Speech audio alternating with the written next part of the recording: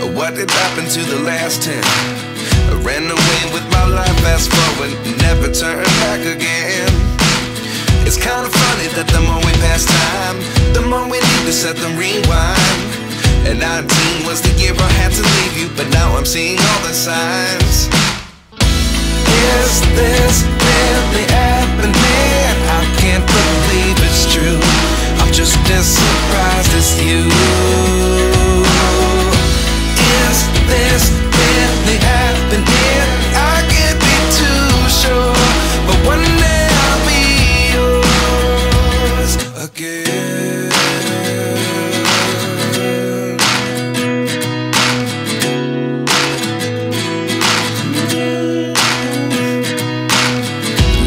lessons come one in a dozen.